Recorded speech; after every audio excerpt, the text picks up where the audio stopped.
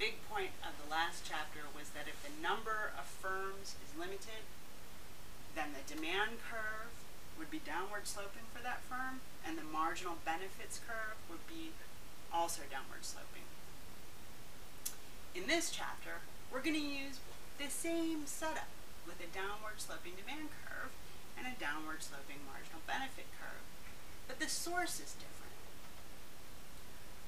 Instead of thinking about a limited number of firms, we're going to think about markets that we encounter really every day. When you go to the store and you look at the shelf for coffee, you're going to see a lot of different brands of coffee. And many of you are going to have strong opinions about which brand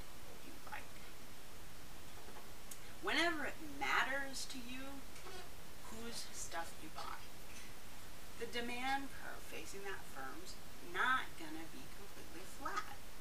If you don't view different kinds of coffee as being perfect substitutes, then you're probably willing to pay a little bit more for your favorite coffee, even if the manufacturer raises its price a little bit.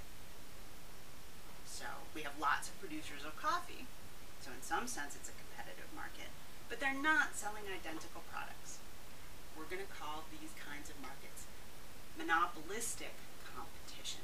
Monopolistic to reflect the fact that your favorite producer has some sway over you and therefore doesn't have a perfectly flat demand curve for his product.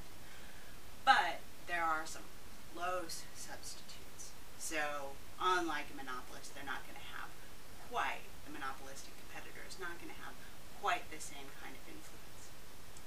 Here we're going to see that the forces of entry and exit are going to allow consumers to get more out of these markets than would happen in monopoly.